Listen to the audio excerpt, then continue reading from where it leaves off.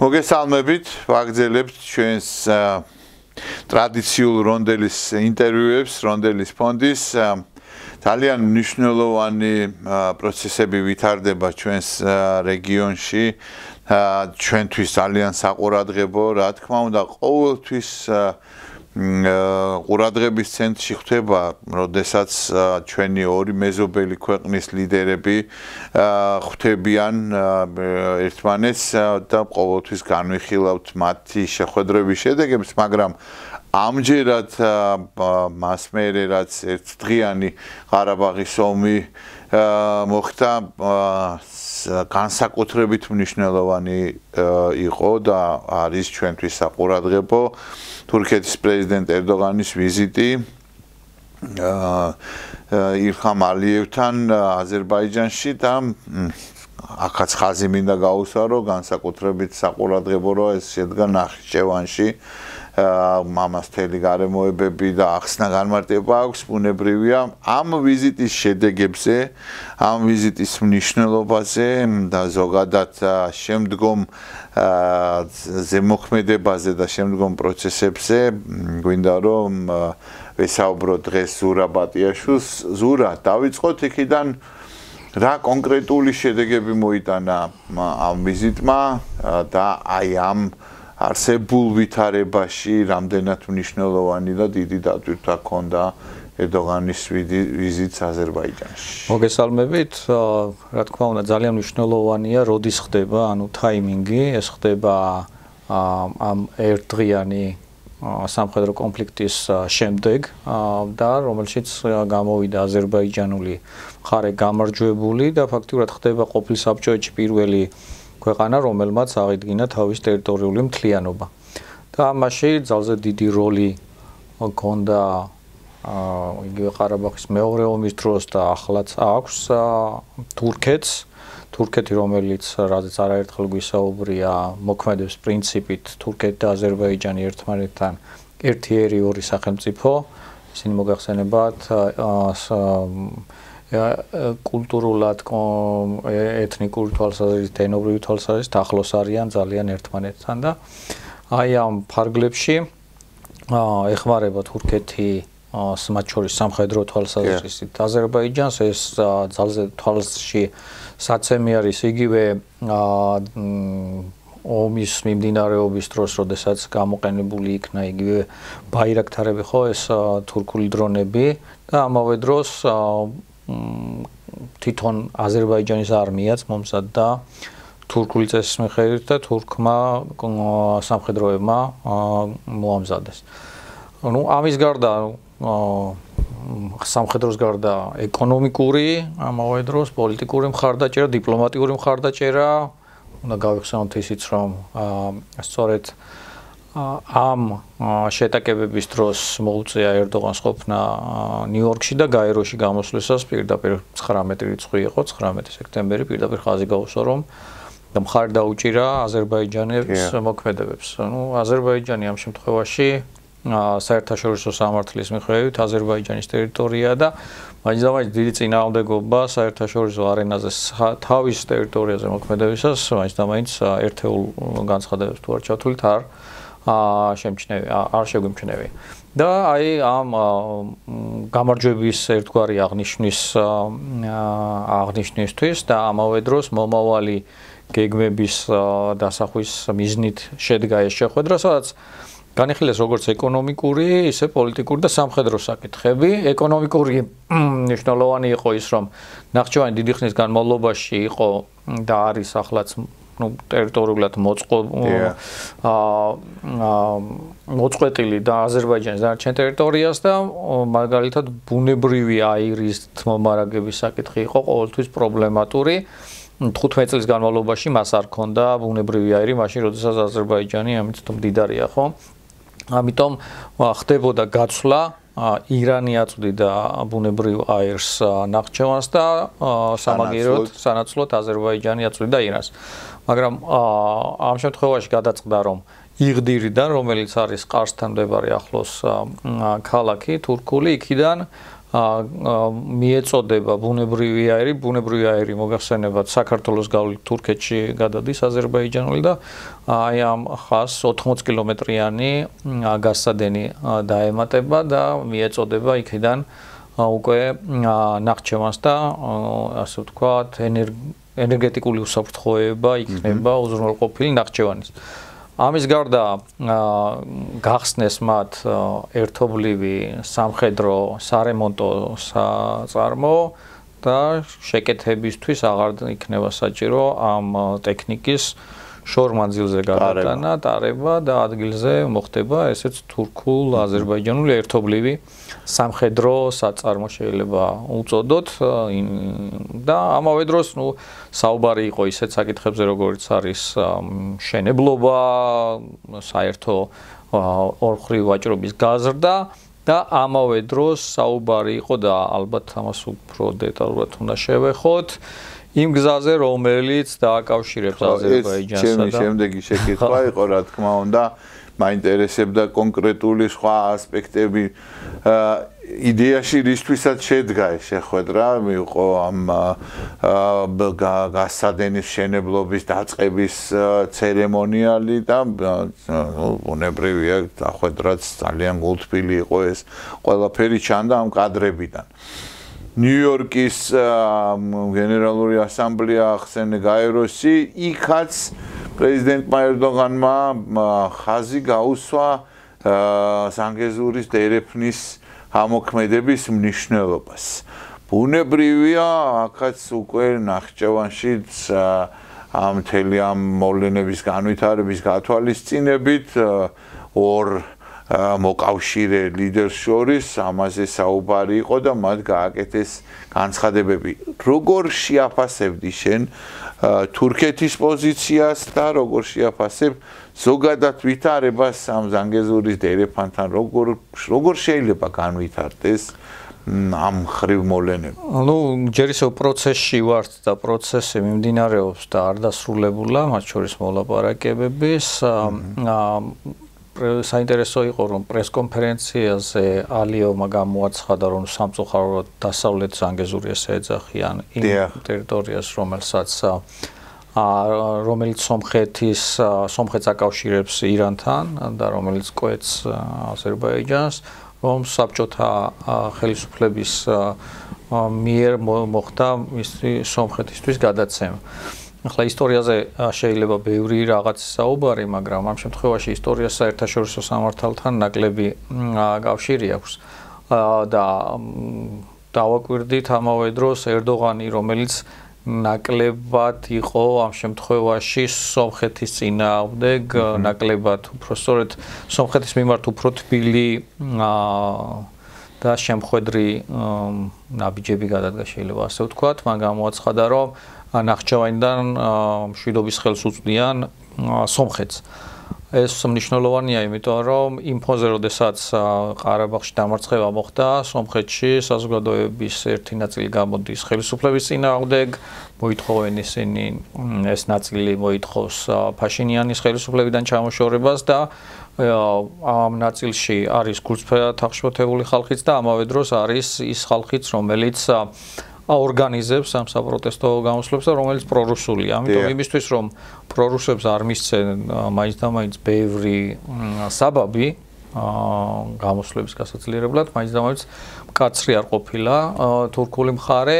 თურქულ მხარემ სხვათა შორის ისიც თქვა, რომ კარგი იქნებოდა ზანგეზურის კორიდორის გახსნა, რომელიც სომხეთისთვის აა სომხეთის გადმოსახედიდან გზა არის და ხო არ არის ეს ერთგვარი როლების განაწილება.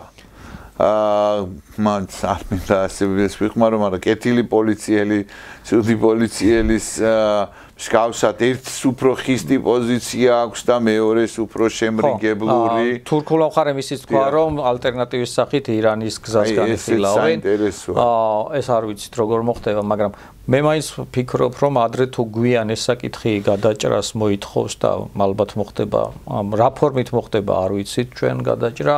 ეს საკითხი იდგა და ჩადებული არის 2020 წლის სამშვიდობო შეთანხმებაში ეს ცეცხლის შეწყობა. რო შევახსენოთ ჩვენს მსმენელს, როგორ არის ეს ჩადებული, რო ვინ იღებს რა და რა ვალდებულებას?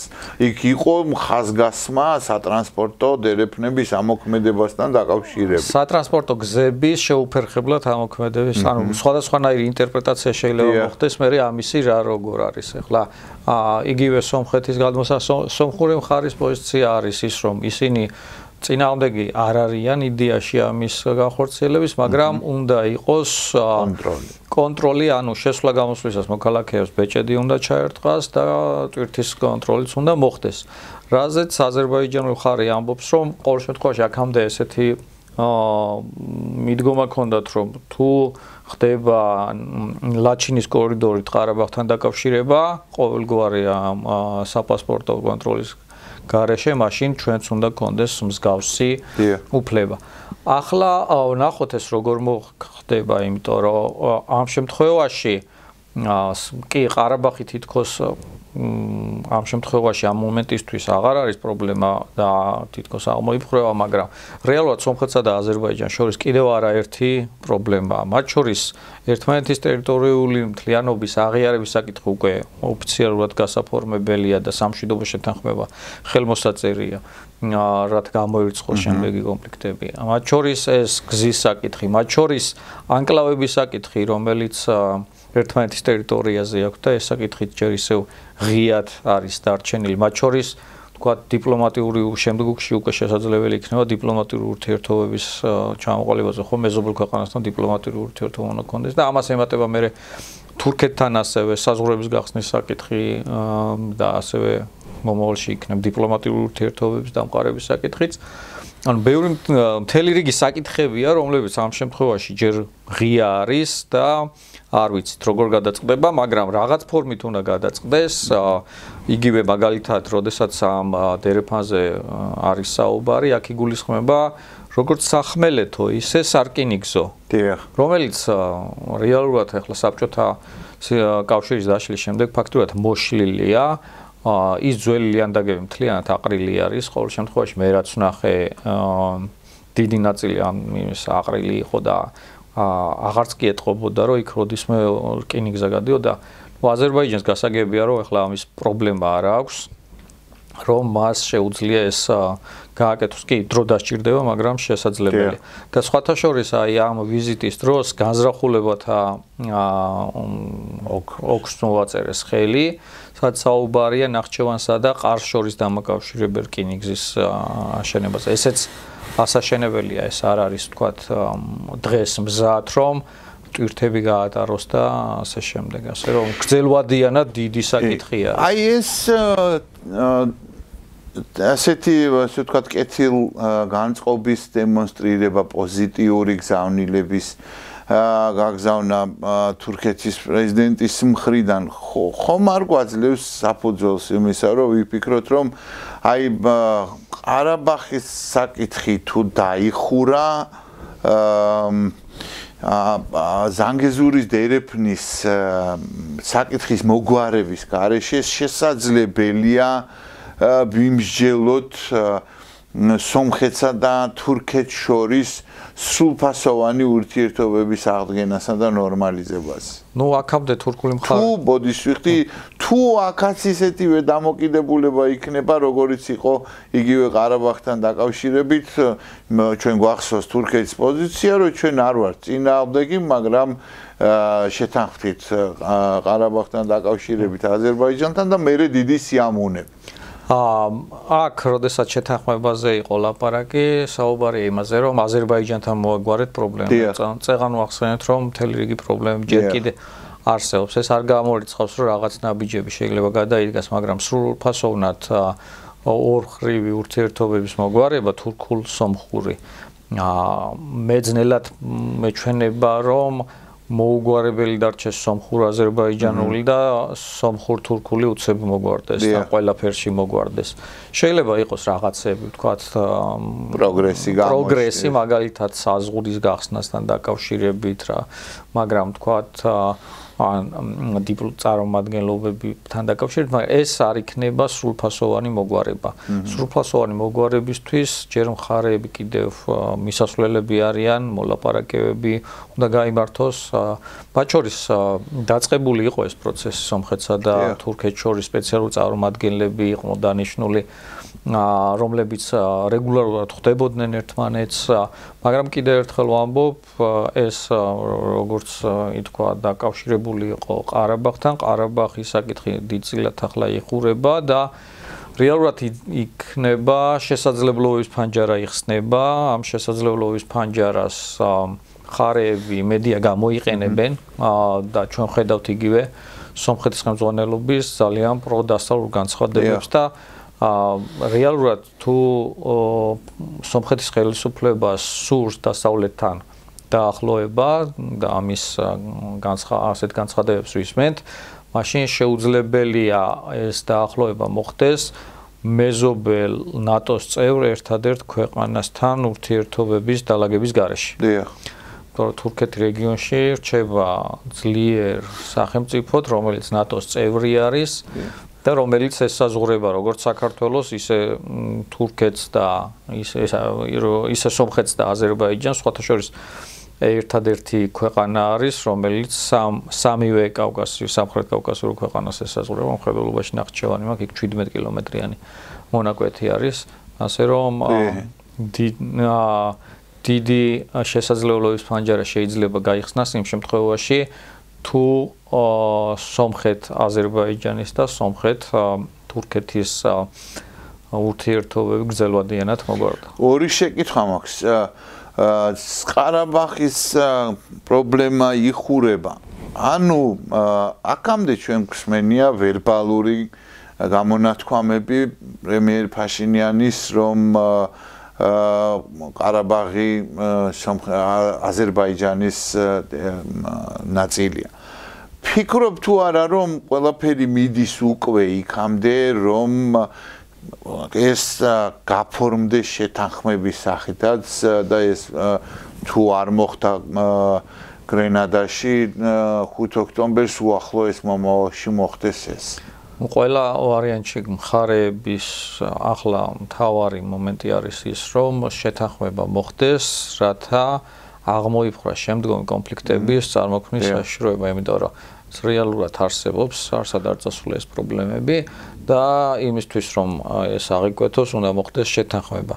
რამდენ ხანში შეძლებენ ამ შეთანხმებამდე მისვლას ძნელია დიდი თვირთი მოშორებული არის, მაგრამ რჩება ეს შეიძლება ეს შეთანხმება მოხდეს ზანგეზურის გარეშე, გაფორმდეს? ალბათ ძნელად, იმიტომ რომ ზანგეზურიც ამ დიდი პრობლემების ნაწილი არის და მის გარეშე ცოტა ძნელად წარმომიდგენია. ანუ აზერბაიჯანი არ დასჯერდება ახლა უკვე ამ გაფორმებას ამის უკვე დოკუმენტალურად არა გაფორმებული რეალურად. დაკავშირებით არამედ აუცილებლად კომპლექსური შეთანხმება უნდა შედგეს შენი გადმოსახება კომპლექსური შეთანხმება უნდა შედგეს მაგრამ ამ შემთხვევაში შეთანხმებაზე მეტად მნიშვნელოვანი არის ალბათ რამდენად ის ცხოვრებაში რამდენად გატარდება. თორე ახლა 2020 წლის შეთანხმებაშიც ვნახეთ რომ ეს იყო ჩადებული მაგრამ იმის გამო რომ სხვადასხვა მხარეები სხვადასხვანაირი ინტერპრეტაციას ახდენენ ერთმანეთის მიმართ ნდობა იყო ძალიან დაბალი არენდობოდნენ ერთმანეთს კი ვერ მოხდა საბოლოოდ დაახლოება პოზიციების სამ საკითხზე. ну იმედი ვიქონიოთ რომ მოხდება და ჩვენს რეგიონში აღარ გვექნება ბევრი სასაუბრო კონფლიქტურ სიტუაციაზე და უფრო მეტი გვექნება ვთქვათ ერთობლივ ეკონომიკურ პროექტებზე სასაუბრო, რომელიც რეალურად იქნებოდა მომტანი სიკეთეების მთელი რეგიონისთვის. ეს არ ეხება მხოლოდ სომხეთს და აზერბაიჯანს, ჩვენს გვეხება, იმიტომ რომ ჩვენ რეგიონიდან არა ვართ კონტექსტიდან ამოგლეჯილი, ჩვენ ვართ ამ რეგიონის ნაწილი და ჩვენს სამეზობლოში, ჩვენს გარშემო რაც ხდება, ყველაფერი გვეხება მეტად თუ ნაკლებად. ცხადია, იმედი უნდა ვიქონიოთ საქართველოსთან საქართველოს კონტექსტში ამ თემაზე საუბარი კიდე გვექნება მომავალში, ეხლა უბრალოდ ძალიან ცხელია ეს და ძალიან კონკრეტული შეთანხმებებია, კონკრეტული პროცესები ვითარდება და შესაბამისად უნდა დავაკვირდეთ მოვლენებს. დიდი მადლობა ზურა. ისე მომავალში შეგაწუხებთ აუცილებლად. ინტენსიურად გვიწევს ამ ბოლო პერიოდში. ჩვენ ამ თემაზე მსჯელობა და დიდი მადლობა ყოველთვის კვალიფიციური და სიღრმისეული ასეთი ანალიზისთვის, გემშვიდობებით და მომავალ შეხვედრამდე ძალიან მალე შეგეხმიანებით.